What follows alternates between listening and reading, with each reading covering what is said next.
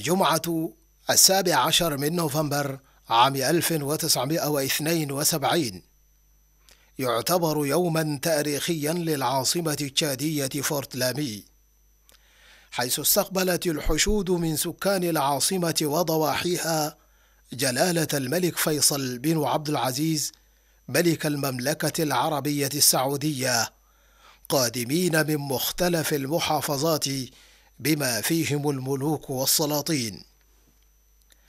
وفي تمام الساعة الرابعة والنصف مساء هبطت الطائرة التي تقل جلالة الملك فيصل بن عبد العزيز بمطار العاصمة فورت لامي. وكان في استقباله الرئيس فرانسوا تومبلباي بجانبه سفير المملكة في تشاد وسفير تشاد بالمملكة. واحتفاء بوصوله قذفت مئة قذيفة مدفع. استقبل الرئيس تومبلباي الملك فيصل والوفد المرافق له منهم سمو الأمير سلطان بن عبد العزيز وزير الدفاع والطيران وسمو الأمير نواف بن عبد العزيز المستشار الخاص لجلالة الملك فيصل بن عبد العزيز. ومن ثم واصل الملك فيصل بن عبد العزيز ليحيي كبار الشخصيات الذين جاءوا بالمطار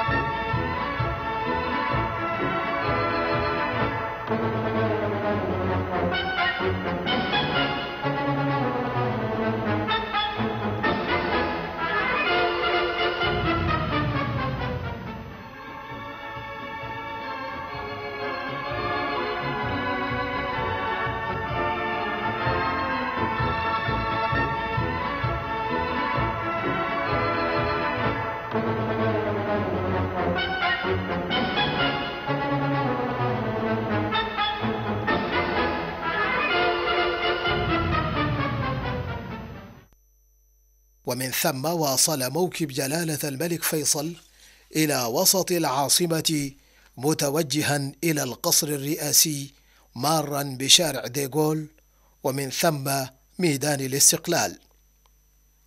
وفي خلال ذلك اصطف السكان من جميع جوانب الطرق ليحيوا جلالة الملك فيصل.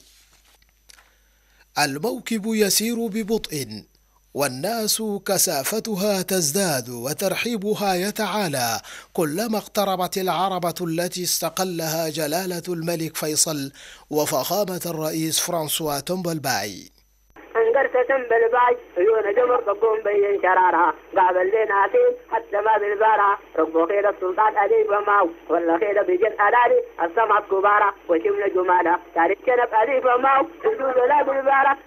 انبرت تنبل باي رئيس الدولة جنبنا الملك فيصل أمن عبد العزيز كتب الشعب لنقرت تنبل باي السمحة دارك رئيس الدولة انقرت تنبل باي كتب تيلف وعشر ليا أبو قلب حجر انقرت تنبل باي عيون جمر قبون بين شرارها. قابل لنا فين حتى ما بالبارها ربو خير السلطان أديب وماو ولا خير بجن ألالي. السمعة كبارة وشمل جمالة. تاريخ كنب أديب وماو وجود لا بالبارة.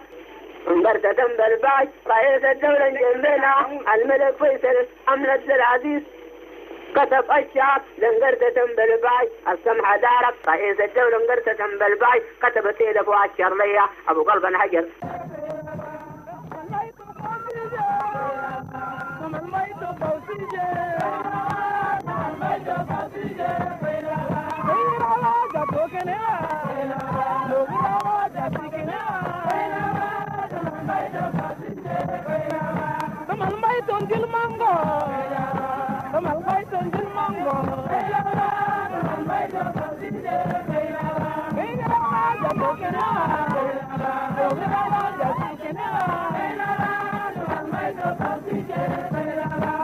وما زال الموكب يسير في شوارع العاصمة فورت لامي متجها إلى قصر الضيافة إنها صور رائعة فريدة من حفاوة الاستقبال الذي خص بها الشعب التشادي جلالة الملك فيصل بن عبد العزيز.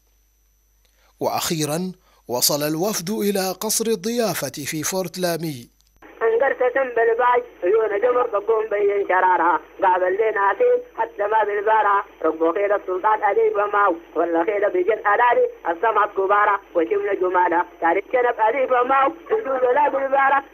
انقرت تنبل باي رئيس الدولة جنبنا الملك فيصل أمن العزيز كتب الشعب لنقرت تنبل باي السمحة دارك رئيس الدولة انقرت تنبل باي كتب سيدك وعشر ليا أبو قلب حجر فعلا صحيح سنة 1972 الملك فيصل جلالة الملك فيصل جايين زيارة رسمية في آه، الأزمة رئيس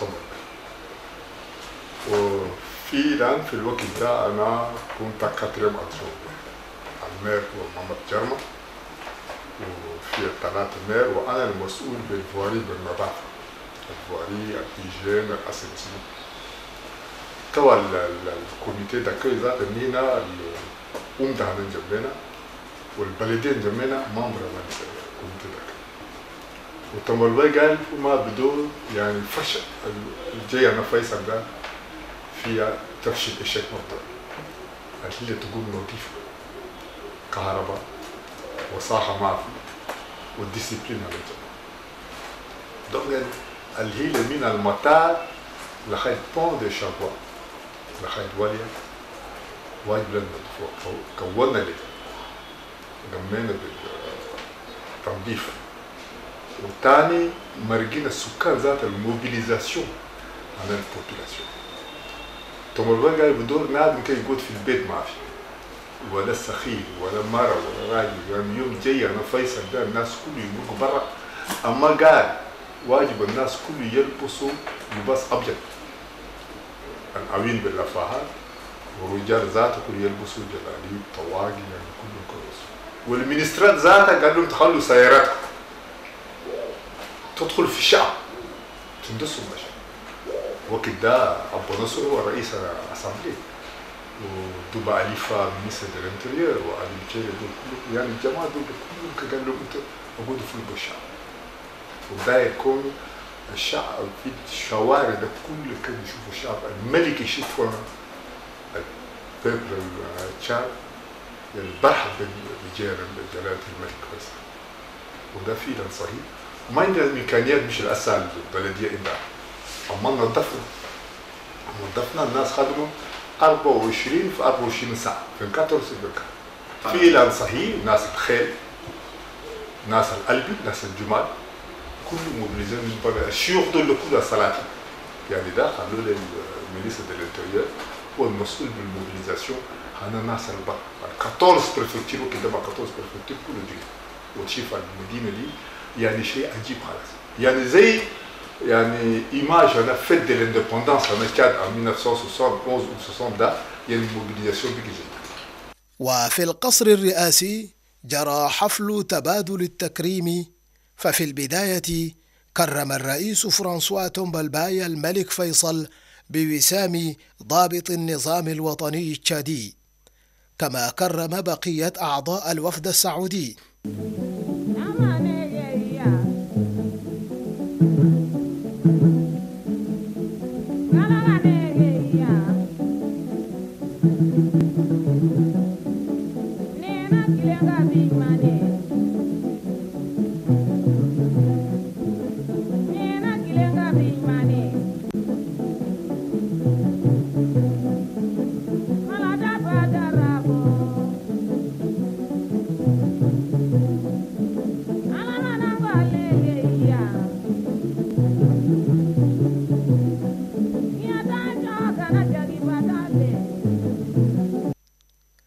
ومن جانبه كرم الملك فيصل فرانسوا تومبلباي بقلادة الملك عبد العزيز.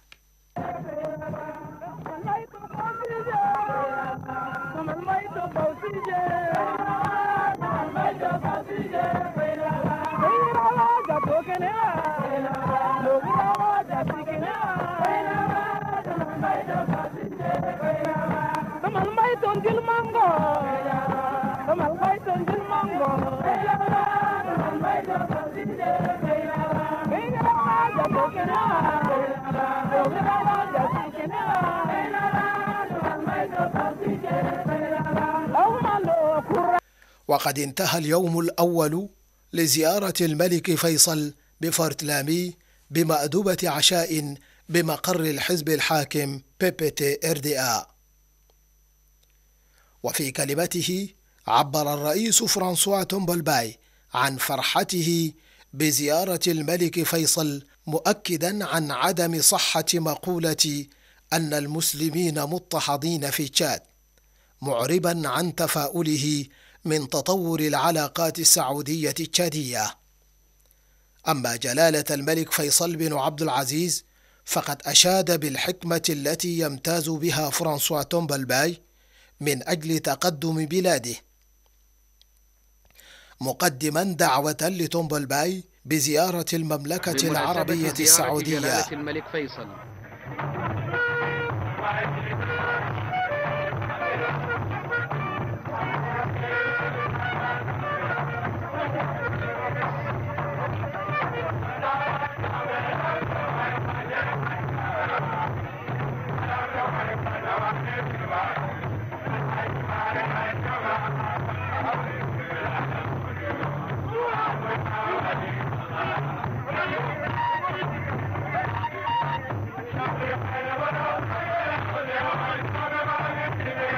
واختتمت مأدبة العشاء بألعاب نارية ضوت سماء العاصمة فورت لامي على مدى ساعة كاملة عبر ألوان أعلام البلدين السعودية وتشاد.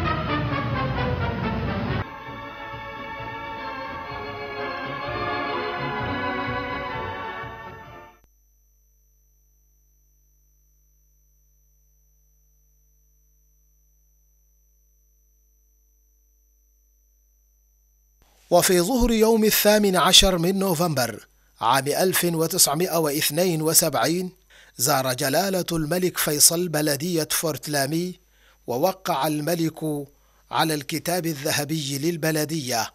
ومن ثم توجها معا كل من الملك فيصل والرئيس تومبلباي على متن سيارة محيين السكان المصطفين في أطراف الشوارع. السكان ما كثيرين مش راسالين والمدينة ذاتها كده ما حدودها في الفوا دو كونتورنمون الفوا دو كونتورنمون بون دو شربوكي لغايه أمشي في في بياتو تو مريدين نور من الدمير ده. يعني ده الفوا دو كونتورنمون اللي بديك ده. أما الناس موبيليزاسيون بقي جدران المدارس سدوا السوق ما في. الناس من برا جو. وأي ليد يعني les folklores هنا تشاد كل كثير داخل والعلماء أنا جد كلها يعني شيء عجيب وفي اليوم الثاني من زيارة الملك فيصل بن عبد العزيز للعاصمة فورت لامي وهو يوم السبت الثامن عشر من نوفمبر عام 1972 تم لقاء ثنائي بين الرئيس التشادي فرانسوا تومبلباي وجلالة الملك فيصل بن عبد العزيز ملك المملكة العربية السعودية. طرحت في خلاله المسائل المتعلقة بالتعاون بين البلدين والمسائل الدولية خاصة تلك التي في الشرق الأوسط. وفي نهاية اللقاء تبادل الهدايا. ومن ثم عقدت جلسة عمل بين الطرفين التشادي والسعودي بحضور الملك فيصل والرئيس تومبلباي في جو تسوده الأخوة من أجل تعزيز التعاون بين البلدين في المجالات الاقتصادية والثقافية والاجتماعية. جلسة عمل بين مرافقي الملك والجانب التشادي.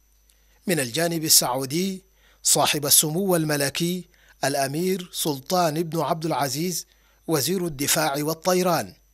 وصاحب السمو الملكي الأمير نواف بن عبد العزيز المستشار الخاص لجلالة الملك.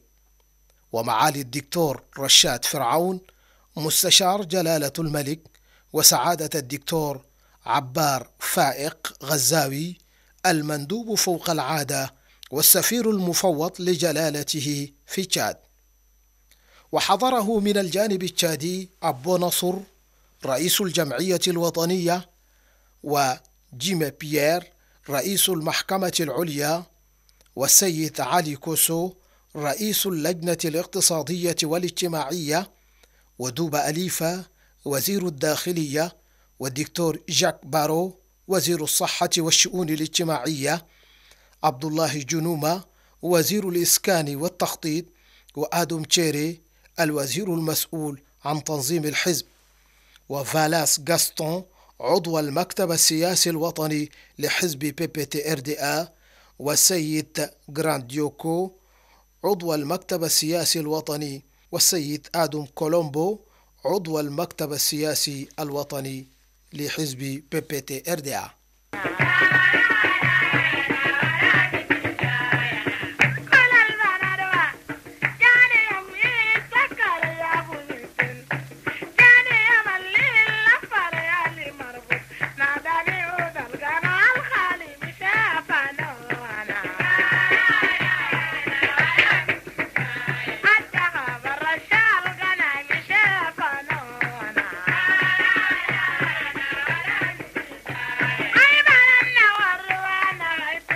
أما اليوم الثالث لزيارة الملك فيصل بن عبد العزيز للعاصمة فورت لامي وهو يوم الأحد التاسع عشر من نوفمبر عام 1972 فقد بدأه الملك بزيارة المسجد الكبير لمدينة فورت لامي. وقد استقبل من قبل الإمام موسى إبراهيم وعند دخوله المسجد صلى الملك ومرافقيه ركعتي تحية المسجد. ومن ثم قدم الإمام موسى إبراهيم مصحفا هدية للملك فيصل ابن عبد العزيز.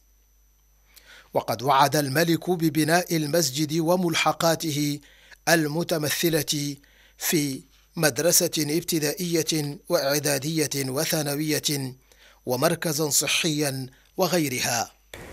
المدرسة فيصل. قبل وصول فيصل 72 زيارة فيصل فيصل نزل زيارة لرئاسة الجمهورية وهناك الرئيس تنبلباي وآهت على أساس عنده برنامج خاص ببناء المسجد الكبير. وعن ذاك المسجد فيصل تسمى مسجد مسجد الكبير فورلامي. وهكذا الإجراءات مشى. وتنبل دعا كل العلماء المعامشين في المساجد في المسجد جماعة هنا زي إمام موسى إبراهيم وجماعة كده هناك. وتنبل الملك فيصل جلس. بسألهم كيف رأيكم شنو؟ ناس المسجد الكبير. أنا عندي مشروع خاص بالمسجد الكبير. قال لي رأينا رأي رأي رأينا رأيك أنت. قال خلاص أنا عندي أول شيء بدأ برئيس التملباي أدى الشيخ تملباي قال لا جماعة قاعدين. ده إمام موسى إبراهيم وجماعة أربعة. هم قدم الشيخ بعد ده إمام موسى إبراهيم قال لا. نادوا اللي مديرنا الساتوم الشركة الساتوم جاء عدوا ال- الشيك يا ساتوم تبدأ ببناء مسجد كبيرة. شرط البيوت المحيطة المنازل المحيطة بالجامعة تشتروا منها. وتوزعوا المسجد. الناس طبقت ومشت وبنى بنى. الناس بنوا مسجد كبير إلى مسجد فيصل. حاليا مسجد فيصل تضم تضم كله تقريبا أربع هي أربع كارتيه التابع للسوق الكبير. زي جنب البحر زي هاي مبسطنا كله تابع للمسجد الكبير. وتم بناء والناس بدأت تتحرك. المدارس الثلاثة زي ابتدائية وإعدادية كله داخل المسجد الكبير. وأنا بشركه بأشركه بأن المسجد الكبير يا صورته يا صورة المسجد الكبير. والحمد لله العمل مشى وبدأ عمل انتهى وخلص الحمد لله فيصل ماشي. آنذاك كل المدارس الداخل مسجد فيصل الميزانية تجي من السعودية. ميزانية للخدمات الإدارية والمدارس.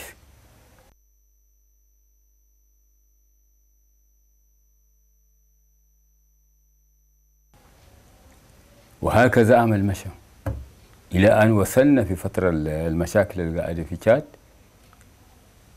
السعودية وق- وقفت شوية الميزان. الدكتور يوسف عبد السلام آدم. كان من ضمن الصحفيين الذين غطوا زيارة الملك فيصل ابن عبد العزيز لمدينة فورت لامي في عام 1972 ذهبنا إليه بمؤسسته التعليمية بحي ديجيل بأنجمينا وأجرينا معه اللقاء. الليلة داير سجونا عينا. الليلة سلمي للرجال jibirin da kena lalgajin mahaye na sajo na wani jibirin da kena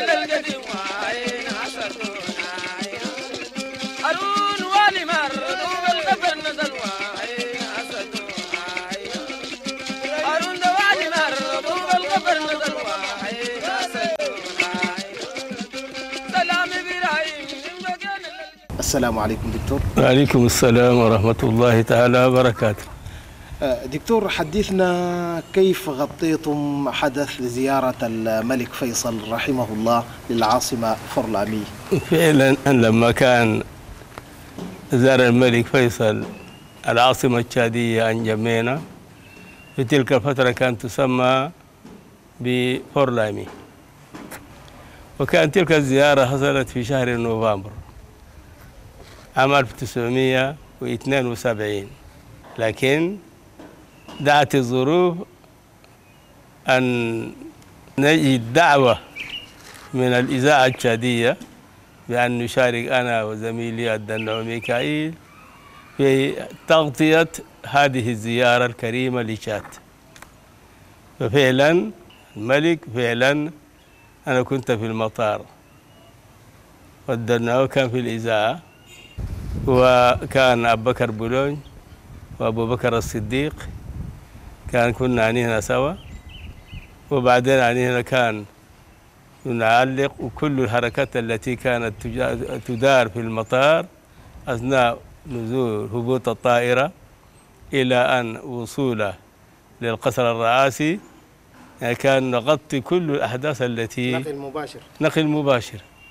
وأنا من ضمن الذين ينقلون النقل المباشر في تلك الفترة إلى أن كل الأحداث التي جرت في المطار وخلال مجيئه للقصر الجمهوري كان أنا نغطي وكان زميل واحد باللغة الفرنسية أيضا كان يغطي.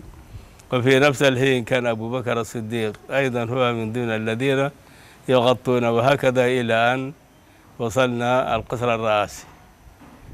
واستمرينا في الإذاعة إلى أن تمت زيارة الملك فيصل إلى أن غادر العاصمة التشادية ثم نحن رجعنا في عملنا كمعلمين وتركنا الإذاعة.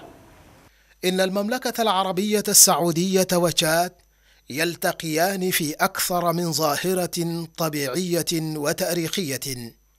ولا شك أن زيارة الملك فيصل إلى تشاد تؤكد التقاء البلدين والشعبين على أكرم وأنبل ما يكون عليه التلاقي والتضامن من أجل رفاهية الشعبين في البلدين الشقيقين والإنسانية جمعاء.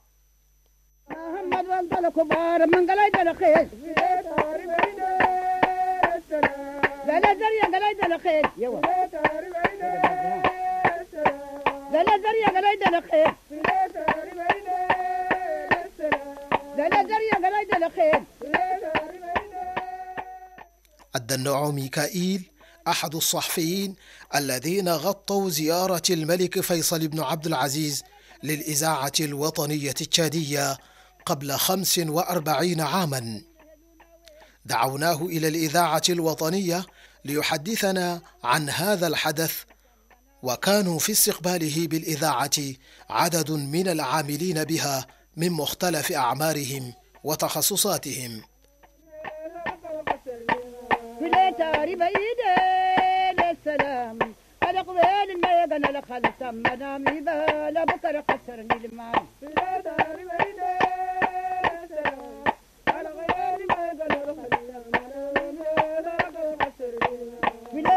بعيدين السلام على قبيل ما يقنا لخلص منامي بلا بكر خسرني المال في الاتاري بعيدين السلام على قبيل ما يقنا لخلص في الاتاري بعيدين السلام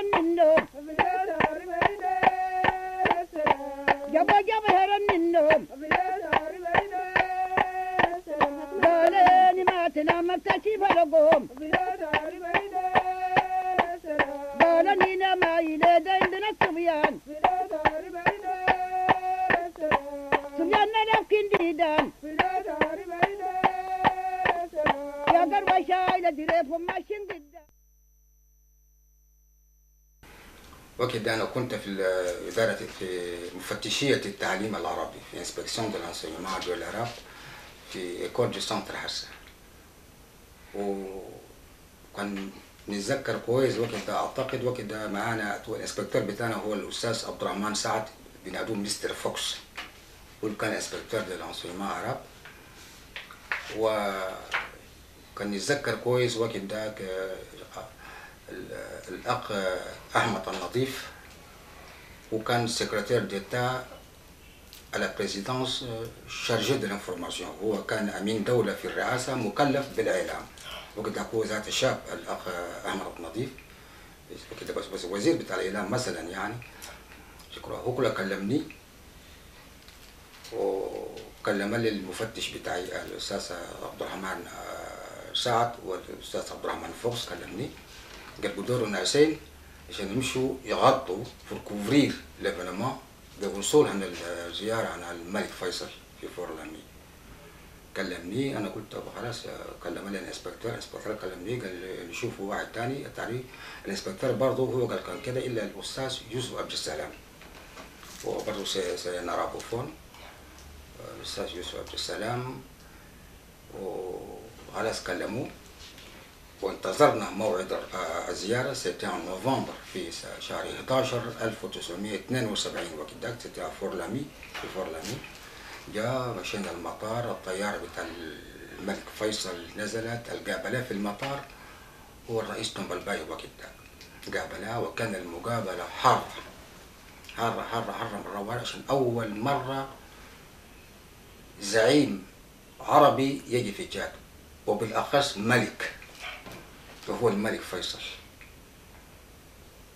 ومن ساعتها من يوم ده من 1972 جاء اليوم ملك زار الجاد ما في إلا الأول مرة 72 ده هو الملك فيصل بجا زار الجاد وكان تومبلباي فرحان الناس فرحانة المؤمن المسلمين والمسيحيين كلهم فرحانين على السواء. ولا بيقولوا ده عشان ده مسلم جاب زيارة ولا كل كل كل الناس فرحانين بكده بالزيارة. وكانت الزيارة من المطار بعدين من المطار قمت الوقت ذاك أنا ويوسف عبد السلام في التغطية في العربية. وكان بكاري بولون باللغة العربية والجران فير محمد شايب. الله يرحمه أشكره أستمع فيه. محمد شايب وبكاري بولون وأنا ويوسف عبد السلام.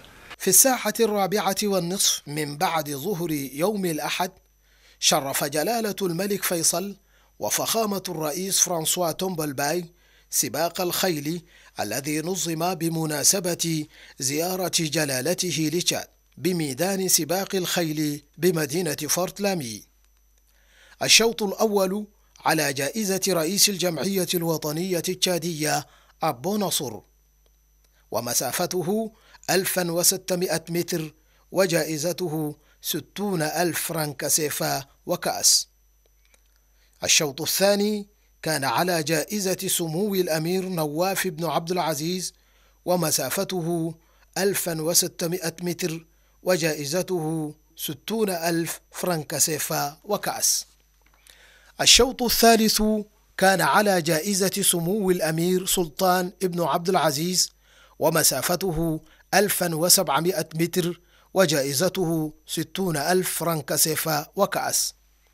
الشوط الرابع كان على جائزة فخامة الرئيس فرانسوا تومبلباي ومسافته 1700 متر وجائزته 130 ألف فرنك سيفا وكأس. الشوط الخامس والأخير فقد كان على جائزة جلالة الملك فيصل ومسافته 1500 متر وجائزته 130 ألف فرنك سيفا وكأس. وقد اشتركت في هذا الشوط الخامس والأخير الخيول الأجنبية لأول مرة والخيول التي اشتركت في الأشواط الماضية في هذا السباق. ونالت جوائز. وفي نهاية السباق سلم جلالة الملك فيصل بن عبد العزيز الجوائز لأصحاب الخيول الفائزة كما سلم الرئيس فرانسوا تومبلباي الجوائز إلى أصحاب الخيول الفائزة. وبعد نهاية السباق عاد جلالة الملك فيصل إلى قصر الضيافة. وفي ختام زيارة الملك فيصل نظمت مأدبة عشاء بمقر الحزب الحاكم آنذاك PT RDA الذي حول الآن إلى وزارة الشؤون الخارجية والتكامل الإفريقي. مأدبة حضرها الملك فيصل بن عبد العزيز والوفد المرافق له والرئيس فرانسوا تومبلباي وأعضاء الحكومة وجمع من كبار الشخصيات التشادية والأجنبية.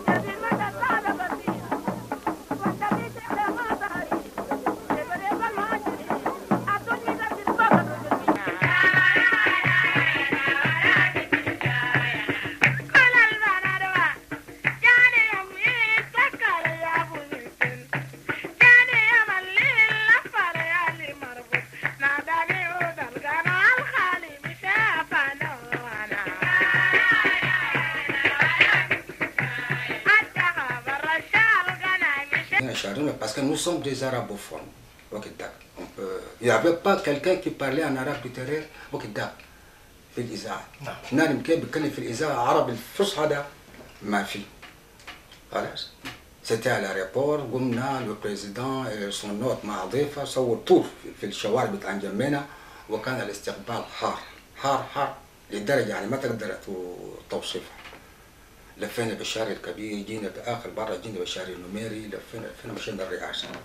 وكذاك الرئاسة هسه الرئاسة القاعدة دي بس الرئاسة ذاتها آه، مسكن بتاعتهم بالباي وال وال- والمكاتب كلها ست رئيسي مشينا قعدوا في ال- في الاجتماع تيتا تيت في اللقاءات. بعد كده آه، في البرامج الرئيس آه، وضع برنامج عشان كورس دي شيفوف بتاع الخيول فيصل حضر ومشى في في المسجد الكبير برضه فيصل مشى في المسجد الكبير. الملك فيصل طلب قال عايز يبني مسجد في تشاد. وطلب علي طنبلباي ينطيه قطعة أرض أرض عشان يبني فوق المسجد.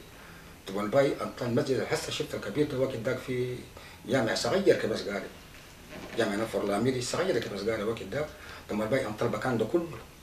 هسه شفت الكبير ده أنطى لي خلاص في المكان ده وقعوا كل حاجة على أساس بناء مسجد كبير. وكسروا المسجد الصغير الأول قاعد وبدلوه كله. هسه المسجد قاعد بقى مسجد, الملك فيصل. وفيصل عوض للناس ده كله. الناس اللي كسروا المكان ده كله كده عوضهم. دفع لهم حقهم. والناس مبسوطة صراحة بالمسجد. وجينا في الإذاعة. الناس فجأة بفك الراديو. يقول عاوز يسمعوا ال- الايفينما اللي حدث شنو في الراديو؟ يشوفوا شنو اللي حصل امني شنو شنو اللقاءات مع مع مع مع, مع الوزراء المختلفين بتاع التشاد وبتاع السعودية في في التعاون بينهم. يفكوا الراديو يرجعوا نادم قاعد بيتكلم بكلام عربي كتير يمشوا بهنا يقول ده بطل يفوتوا بهنا يمشي كده كل سيارة بترير كي pris la place de, de, de la station tchadienne. Or, c'est la même station tchadienne, هي نفس الستاسيون نادم قاعد بكلم كلام عربي يقول هذا لندن بمشي فنالما وتقدم لكم هذه هذه النشرة آه، البناوي ميكائيل فوق ده يرفوق هذا الوقت ده سيتي لا ستاسيون تشاديان راديو تشاد الوقت ده جو بتن في ال في ال في ال التعليق بتاع الموكب لما بمشي le cortège كان ماشي c'était يوسف بالسلام qui qui faisait ces reportages lui en arabe littéraire بكري بولون en arabe local محمد شايب également en arabe local كان جو بلقوا يوسف بالسلام باللغة العربيه الفصحى les gens rien compris ما فيناش فيهم حاجة كذا كيك ورا قبل يرفو c'est à partir de cela من من الوقت ده قبل اللغة العربيه دهابه يرفو كذا اللغة العربيه فائده منها وهي شنو اللغة العربيه دائما اليوم يا ما كنا اليوم دخلوا قاعدين كل في في يعني مارش دو دو دو دو لارب تيرين لا لا. في في الراديو في البروجرام سيتي سيتي كوم سا.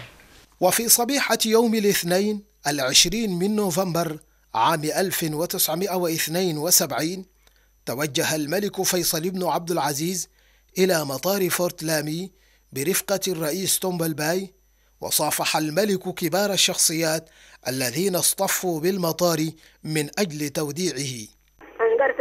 باي عيون بين شرارها. حتى ما السلطان أديب وماو ولا كبارة. كنب أديب وماو لا باي رئيس الدولة جنبنا.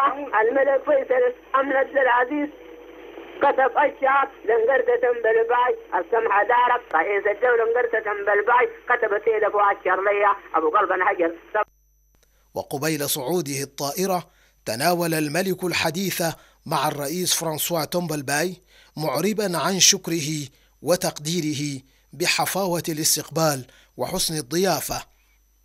طوال الأيام التي قضاها بالعاصمة فورت لامي. ومن ثم غادر العاصمة فورت لامي متوجها إلى العاصمة السنغالية داكار.